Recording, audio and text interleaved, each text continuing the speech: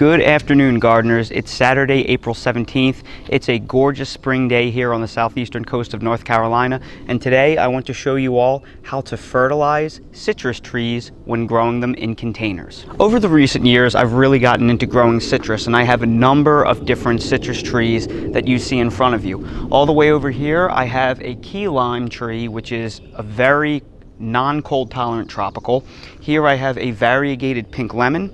Here I have an Excalibur red lime, which is very cold hardy. Here I have a Moro blood orange. Then over here I have a Meiwa kumquat.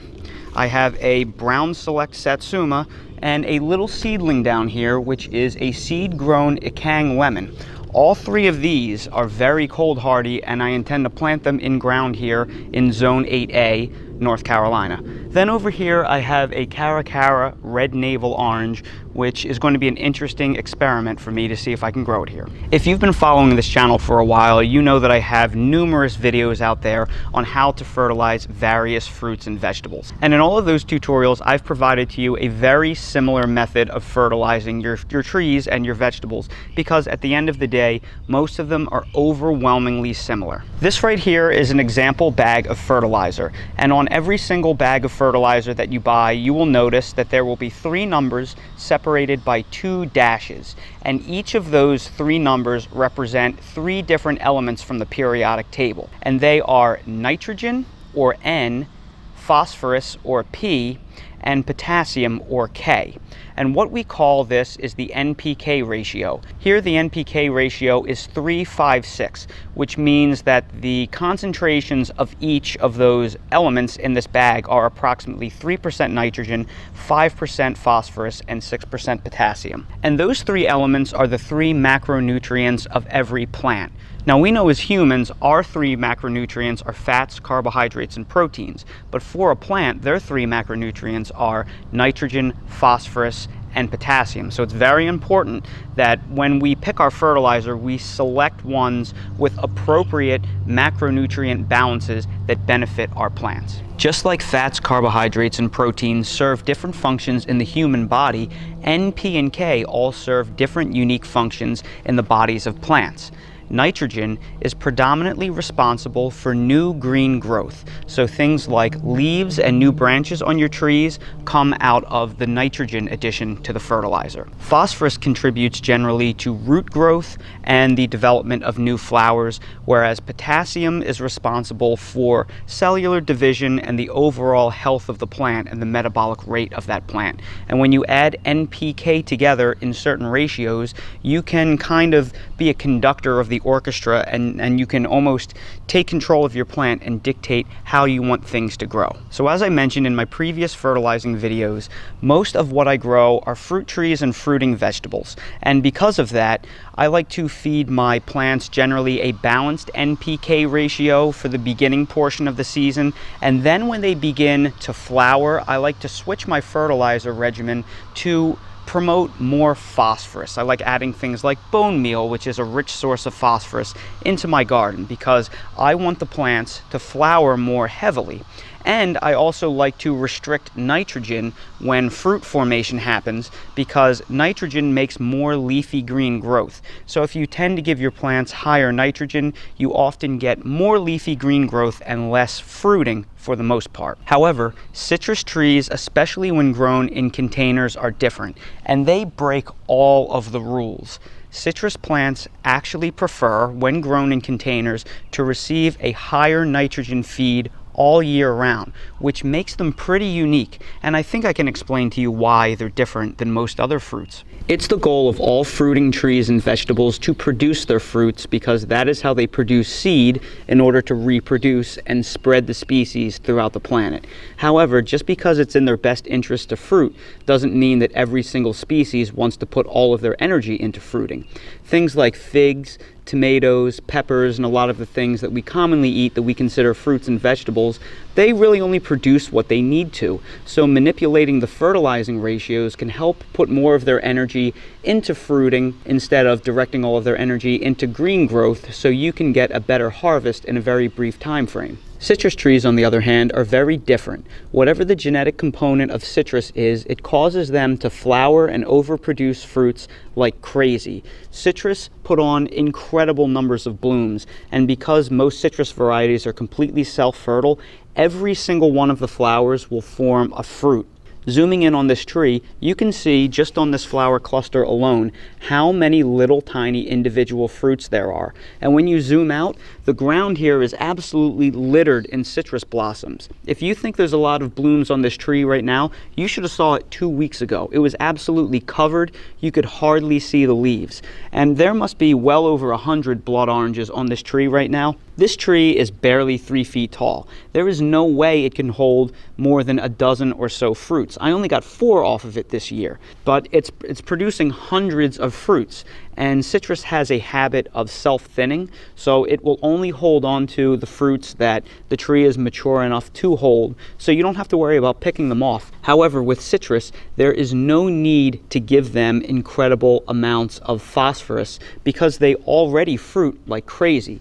What they actually have trouble doing is producing leaves. Because they put so much energy into the, the blooming and the fruiting and the ripening, they sometimes forget that, hey, I need to, I need to make more branches and more leaves so I can support all of these fruits. So when you grow citrus, you actually want to prefer nitrogen in most cases to remind the tree they have to get bigger every single year and not just focus on fruiting all of the time. So I prefer NPK ratios that have higher nitrogen for citrus in containers all year round. And in my opinion, the ideal ratio is about 633 or two parts nitrogen for every part phosphorus and potassium. If you can find a 633 fertilizer, that's pretty perfect for citrus trees. However, if you can't find that exactly, that's no problem. I'll show you how you can make your own fertilizer that is ideal for citrus in containers by blending a few different things together. Now it can be pretty challenging to find fertilizers that have a ratio of about 633 NPK,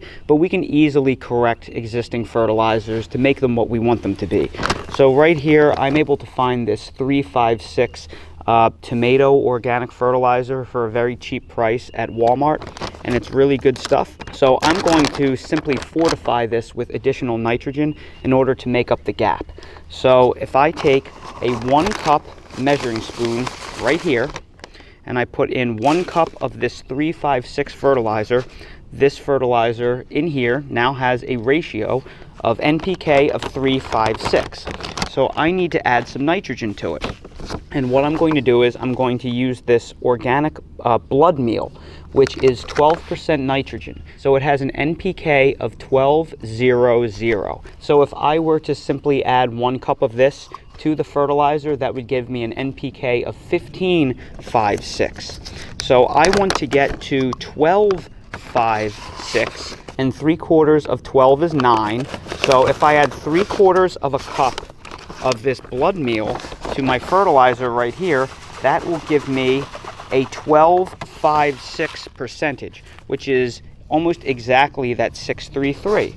So I'm simply going to mix some blood meal into that, and that is going to give me the perfect NPK ratio for potted citrus that we already discussed. Now, if you don't want to go through this extra work, you don't have to. We're just trying to do what's ideal right here. If you just go out and you buy an organic 555 or a 444 and you make sure that all NPK is well represented, your potted citrus will do fine.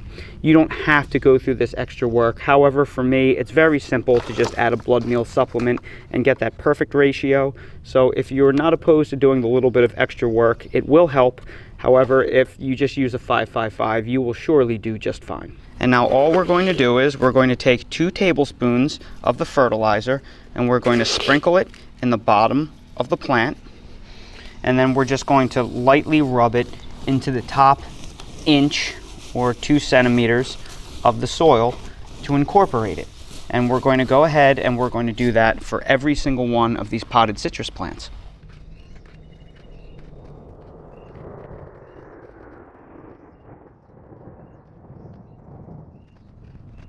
Now the last thing we're going to do is we're going to wet down all of the organic fertilizer that we just placed you have to water it in because it's the water that will start the decomposition process. Organic fertilizers are not immediately bioavailable. They have to be consumed by the natural soil biology like the bacteria and the fungi in there in order to break down and be usable by the plants. And when we water them in, we're going to supplement them with soluble fertilizers. Soluble fertilizers have already been broken down so they will be immediately bioavailable to the plants. Whereas the organic fertilizers feed slowly over a long period of time, these feed quickly. And what I'm going to use is, I'm going to use my secret weapon in my garden, which is Alaska fish fertilizer. It's made out of ground fish that has been fermented and it is just an incredible source of micronutrients. It also has a fertilizer strength of 511 NPK. Then I'm going to supplement it with this Expert Gardener soluble fertilizer. It's an exact knockoff of Miracle-Gro All-Purpose with an NPK of 24816. So this is a little bit high in nitrogen, but I find it's very good for the container citrus. When you mix the two together, they perform very well. So I'm going to follow the package instructions on the soluble fertilizer and I'm going to give them a concentration of one tablespoon per gallon of soluble fertilizer and then to that, I'm going to shake up this fish fertilizer and I'm going to add a little glug of fish fertilizer in there, which will probably be about maybe an eighth to a quarter of a cup. Just about a two second pour. And what you can also do is uh, once or twice a year, you can add a tablespoon of Epsom salts to your uh, soluble fertilizer and that will provide magnesium and sulfur in trace amounts to your plants. Uh, you don't need to do that often. You should not be doing that every time. It's just something that's smart to do maybe one or two times a year. So now we're just going to fill up each watering can and mix the fertilizer very well. Now that the fertilizer has been mixed, it's time to water our plants. And how you water them is going to depend on the type of container that your citrus trees are in. If you're using just standard nursery pots, you're simply going to water them with about one-sixth of the watering can per tree.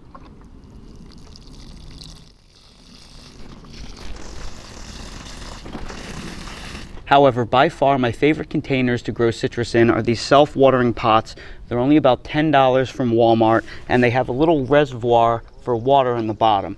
And the reason why they're so great to grow citrus in is because citrus hate wet feet. They hate it when water collects in the bottom of the soil. Uh, they're very prone to root rot.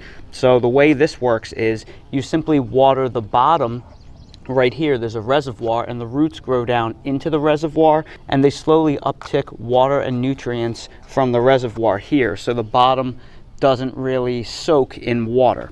So what I like to do with these is I like to gently wet the top down after I place the organic fertilizer because you really want to wet down that organic fertilizer to begin the breakdown process.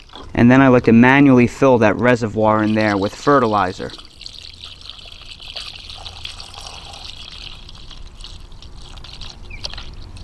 and I'll do that for all of my trees in these self-watering pots.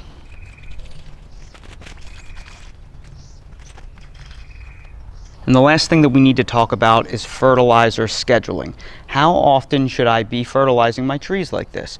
And that's going to come down to the climate and the age of your tree. Here on the southeastern coast of North Carolina, we tend to get deluge thunderstorms in June, July, August, and September, and the very heavy thunderstorms can wash out the containers.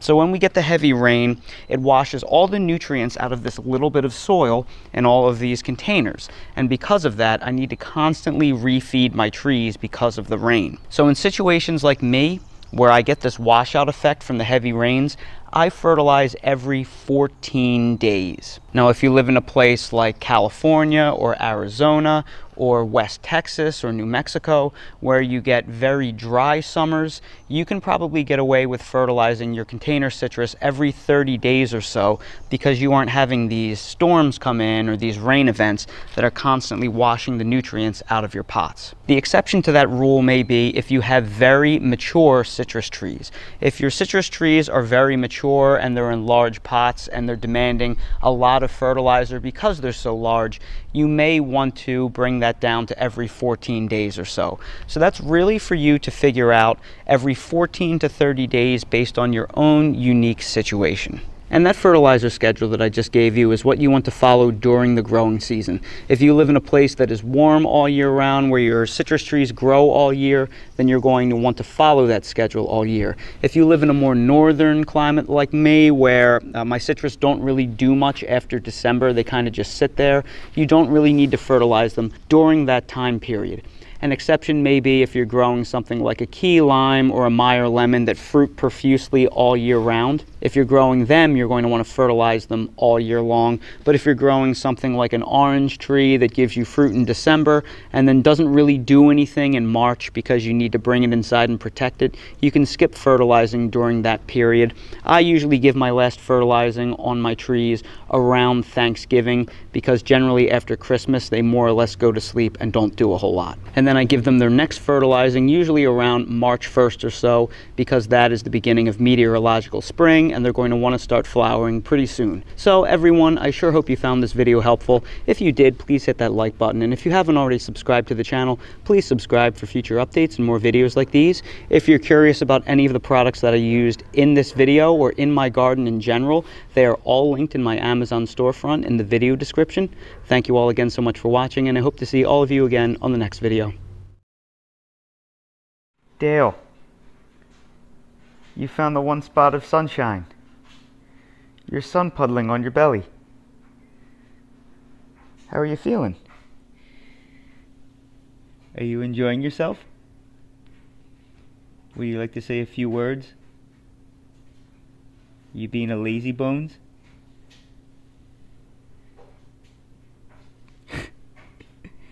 Nothing to say, huh? Alright, buddy. You can have your lazy day.